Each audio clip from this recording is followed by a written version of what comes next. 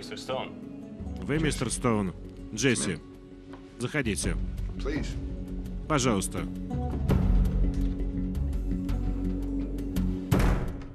Пожалуйста, не беспокойте. Добрый день. Her. по-русски. Я с ней разговаривал. Как тебя зовут? Фиона.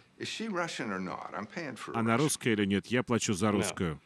Нет, она не русская, но она молодая и красивая, разве нет? Ты полицейский? А почему ты спрашиваешь? Если я тебя спрошу, ты мне расскажешь, иначе no, будут no, неприятности. Нет, я не полицейский. Хорошо. Тебе придется заплатить вперед. И после этого я уйду. Понимаю, почему? После того, как ты заплатишь, я уйду. Вообще-то я был полицейским. Шефом полиции в маленьком городке, но у меня были неприятности. Пришлось уйти на пенсию.